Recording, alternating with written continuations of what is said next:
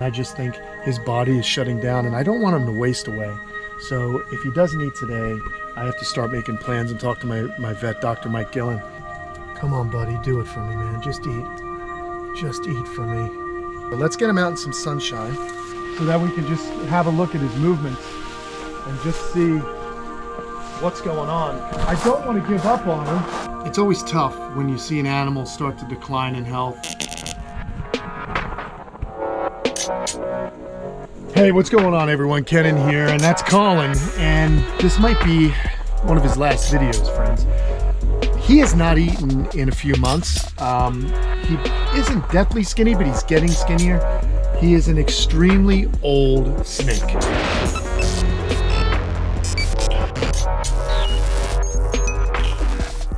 We sincerely thank all of you happy campers out there. Your support makes a real difference in our efforts here at Kamp Kenan. This week's special shout out goes to Justin Carlton. Thank you for all you do and for loving reptiles. Um, I got Colin about 10 years ago as an adult, uh, and he was already old then. Uh, the people didn't exactly know how old he was, but this snake is probably 15, 16 years old at the moment. Um, this is definitely the upper echelon of age for a coastal carpet python. Um, I, I've been trying to feed him every week for the last couple of months, and he's just not eating, man. So it's bumming me out, and I want to try and feed him again today. I want to document this with you guys um, because I'm hoping he'll eat, and if he does eat, um, that's a good sign. But if he doesn't, I'm gonna have to start making a decision because I've had this happen with a diamond python, um, and you know he's. I notice when he moves, he's a little bit jerky. He's getting older, and I just think his body is shutting down, and I don't want him to waste away. So if he doesn't eat today, I have to start making plans and talk to my my vet, Dr. Mike Gillen, about potentially um, putting him to sleep in a humane way. But let's hope he eats. We got a nice warm rat here. Okay, so we've got a nice rat, and we're gonna see if we could tempt him. Uh, we're gonna just make this rat look like he's alive. Yeah, go on in there. Oh, I can get in there if you want. We actually. both get in there. Yeah, well- we've well- done it before. Yeah, no, you you can. If we do it like this, you know, Yeah, it'll be better we'll- for you. Yeah, that'll be better And for both everyone else, so let's see. So here we go. His tongue's flicking. I just I don't want to touch him with it. I just want to see if he's interested in this rat. And it looks like he is, guys. Sometimes they'll go off feed for a while, but it, the temperatures have gotten better here. And he used to eat oh, very good. I mean, he's looking he's looking interested. Come on, buddy. Come on, buddy. Do it for me, man. Just eat. Just eat for me. I don't know. I like the tongue flicks. Maybe he's getting himself into a better position. I don't know. But again, no luck at the moment. Again, this snake would take food all the time. God, he looks so weak. He does in a way, doesn't he? I mean, He doesn't look least responsive normally, and Yeah, he doesn't look emaciated, but he's definitely a little bit thinner. Come on, buddy. Come on, buddy. Right there. Take this. Take this. It was it was much different um, approach though. I want him to strike it and wrap. what's what was the last thing we fed him? It was a rat. It was It was a rat. It was a few months ago. But, you know, like I said, this this is just interesting. There's a little bit of interest. But um normally by now he would have struck at it. Come on, buddy.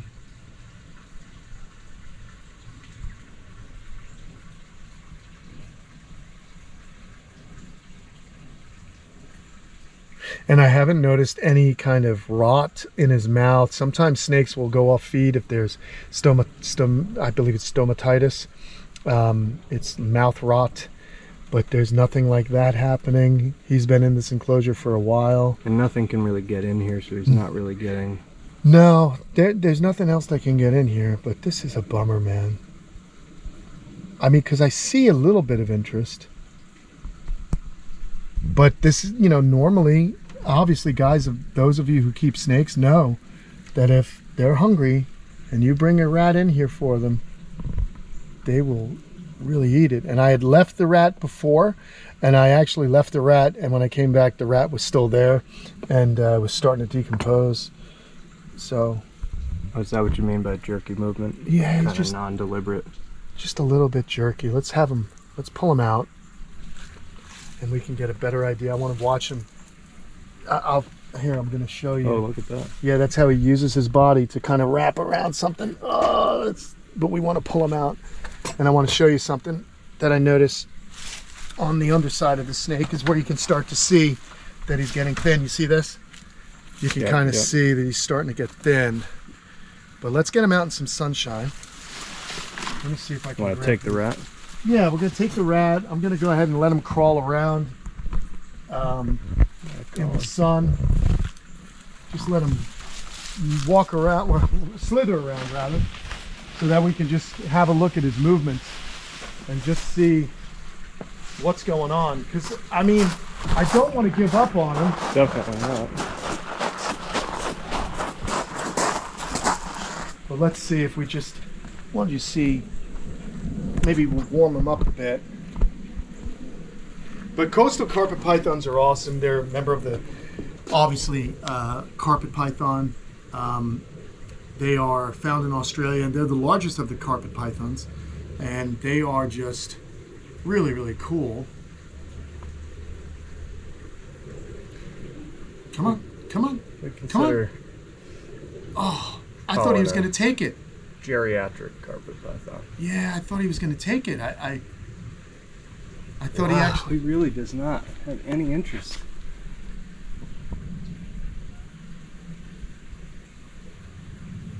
None at all. Wow.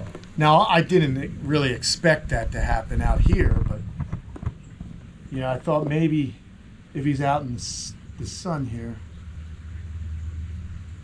he's more interested in finding a place to hide. I think. But they are really cool snakes.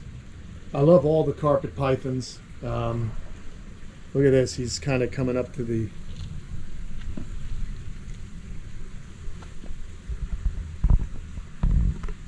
It's so strange. You know? It's always tough when you see an animal start to decline in health. Uh, one that, you know, it's just one that's always been around. Uh, you know, Colin's always been here. He may not be one of the bigger stars on the channel, but, you know, I, I love having him. He's a beautiful snake. Uh, he was a snake that I took in, like I said, about 10 years ago now. And, um, he's tame, which is interesting because um, many of these guys, um, they're a little bit bitey. Uh, generally, people were always amazed. I had him at some reptile shows. They're like, "No way, this guy's uh, a pretty tame uh, carpet python," you know. Um, but I love the carpet pythons because I love this meaty head they have. Excuse me, buddy. I'm sorry. I love this kind of like the, the muscular head. I love that angle. I, I just think they're really cool looking, and um, they are an active snake, which is neat. You know, uh, they will wander around on the ground. They're happy up in the trees. It's really neat to see them because I like their behavior. And you guys know, I really enjoy animals that have interesting behavior, that kind of move around a bit, that do things. Um, it's always more fun for me to uh, interact with animals like that and to have cool habitats for them. But lately, uh, Colin has just been staying in one spot. He's not really been very active. Even now, normally in the in the past, when I would bring Colin out, he'd be whipping around. He'd be, you know, hey, what's going on? He's wrapping around me. But this is just a whole lot different than he normally is. And the only thing that I can attribute it to is just that I think he's just getting older. Um, and I think that he is um, starting to shut down because this is a long time. So it's kind of a bummer, man. Um, you know, like I said, I'm not seeing any outward examples of disease. There's nothing happening in his nares. Uh, there's no discharge from his mouth, so I'm not seeing a respiratory problem, which would be indicative of, you know, you know, would keep them off feed.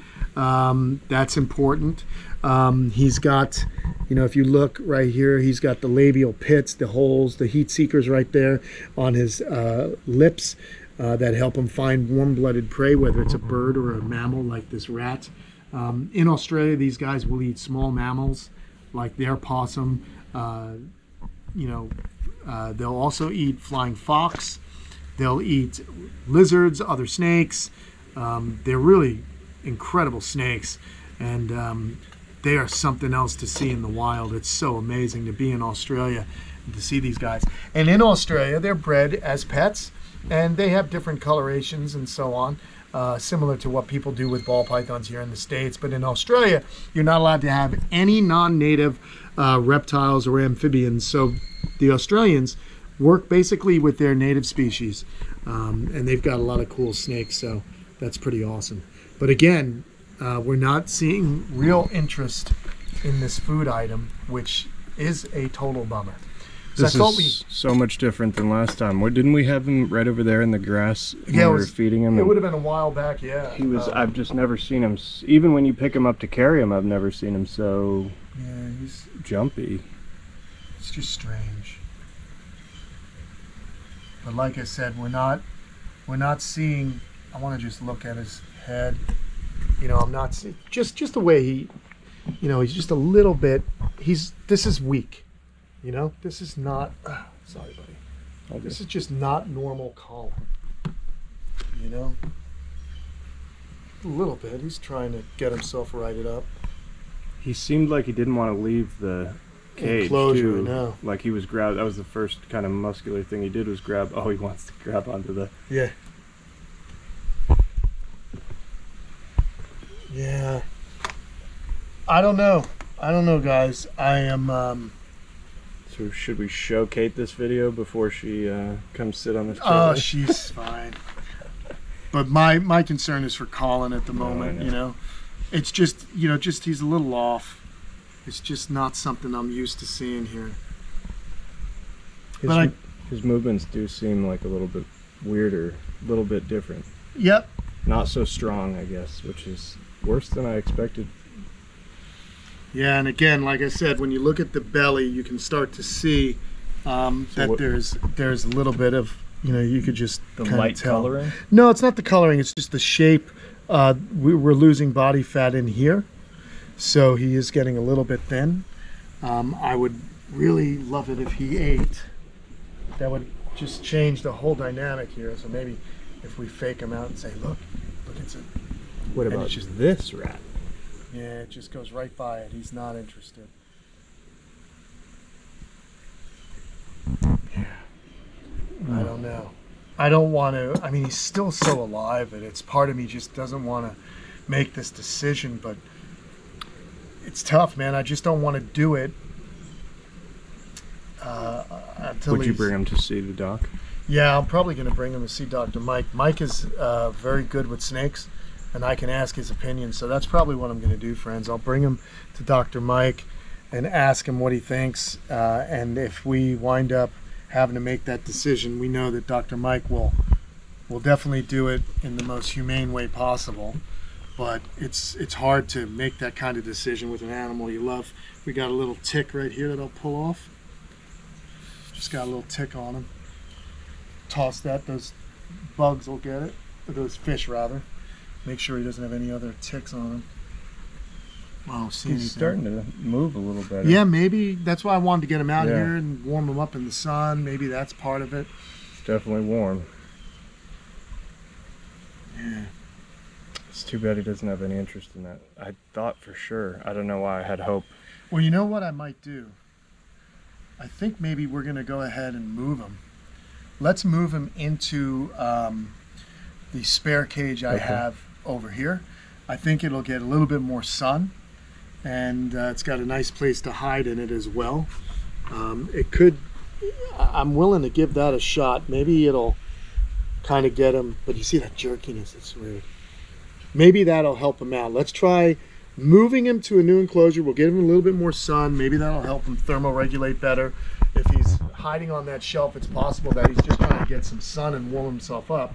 Maybe he's just not at the proper temperature. Um, and because that's kind of covered in uh, a lot of trees and stuff like that, uh, that could potentially be the problem. So let's just have a look. Although he was eating during the winter without any issue. So I don't know, and our temps have definitely gone up. So I tickle his little butt there. We gotta just tickle him a little bit to get him to unwrap. Let's do this. And again, we're gonna get that rat on those tongs. Let's pull him out. All right, buddy. All right, I know, I know, I know. But he is a little goofy. He's definitely a little wonky. Oh, he's wrapping around my leg here. All right, buddy. Let's go for a walk. Let's go over here. And that's the cool thing about having a spare cage because we may need it. Now, I wonder if his presence will freak out the uh, iguanas just seeing a big old snake because you know what? These guys eat lizards, so we don't want to we don't want to feed a lizard to these uh, to to our buddy here. But what we will do is come on in here. Watch your head, Matt. You don't want to hit that. Oh my god, I didn't see him there. Oh, there's hey, there's I Papa. almost stepped on Look at. Lola. They're looking for some sun. We've been having kind of a rainy day, but here are these maniacs. Check this out. Come on in. But you see, this is a nice little setup. And there's- Watch out this nut bag. Yeah. we're gonna have a lot of uh, really nice. We got a nice water bowl. We got things to climb on here. It's a secure enclosure. It is for a snake? Oh, Yeah. absolutely. Oh yeah, we had the Argus in here. That's right. I'm probably gonna move this, kind of like how that moves. But let's see where he goes. Yeah, Come on in. I think he's gonna just look around. Check it out. Come on in. Yes, Yeah. I see you. Yeah. One of the Which maniacs. my only hesitation, because you are a nut. Yeah, he won't bite you though. I do. I'll tell you what. I do want to move this because I think he can knock that Put it on the ground, we'll get it. Yeah, I'll just put it right down there. Where's he going over there behind in Yeah, he's going behind. I think. He's not in the hole, is he? Not yet. He's just going behind it. Here he is. Checking out his new digs. We've got water, fresh water gets put in there from this little dripper. So, like I said, it's just a good spot for him. Um, I'm going to try this again.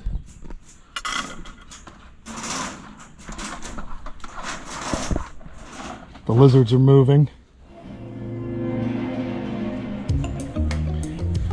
So I guess that's what we're gonna do, friends. We're just gonna switch him out in here, see if the sunlight um, helps him thermoregulate. Maybe he just needs to raise his body temperature a little bit more. Um, but like I said, uh, this is now um, the second month with no food, and I've been trying, and uh, I don't like that. So we're gonna go ahead and hope for the best. I'll let you know what goes on with Colin, um, how he turns out. I'll be sure to uh, keep you guys abreast of everything we do here at the camp. But thank you very much for watching, guys. I appreciate it. And uh, keep your fingers crossed for good old Colin, because um, as I mentioned, as he's not one of the more famous or um, the the he, is a recurring character here, and I do love him. Uh, so there you go, everybody. Here's home for the best. Talk to you soon. Thanks.